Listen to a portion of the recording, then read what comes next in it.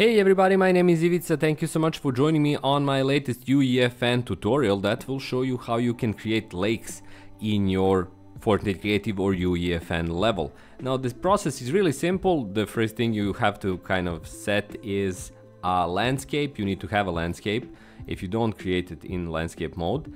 And then you need to find a lake device which you'll get here under Fortnite all of your folders get into the Fortnite folder, get into environment folder, and then get into, into water folder. You have several different types of bodies of water here. We're going to use a lake and I'm going to set it right here and simply drag and drop it.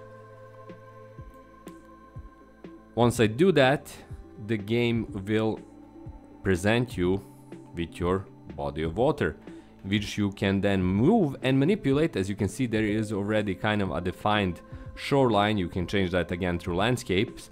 But more importantly, you can change the shape of the lake by selecting it and having these so-called spline points. Once you select the spline point, you can kind of change its direction and then move it to get a different shape.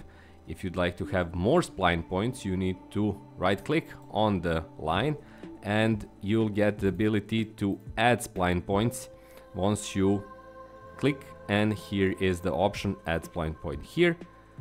And again now you can change the outline of your lake the size and you can add as many spline points as you want.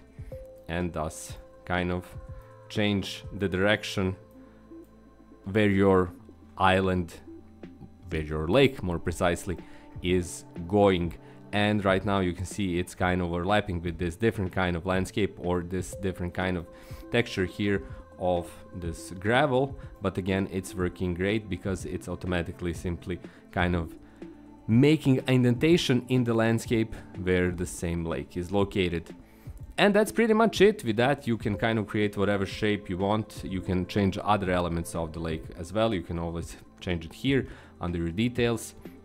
But these are kind of the main or key elements that you can kind of manipulate and use to get the lake you want in your UEFN project.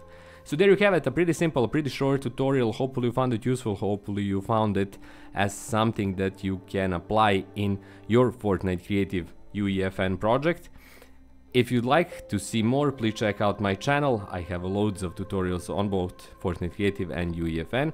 If you'd like to support my work, please check out my Patreon page on Patreon.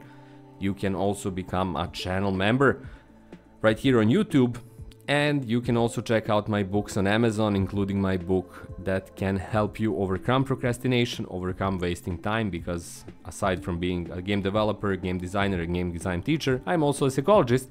So I wrote this book nearly 10 years ago, and people tend to like it. So you check it out as well, because it should be able to at least somewhat provide you with assistance in the way you think about wasting time and how you can overcome it.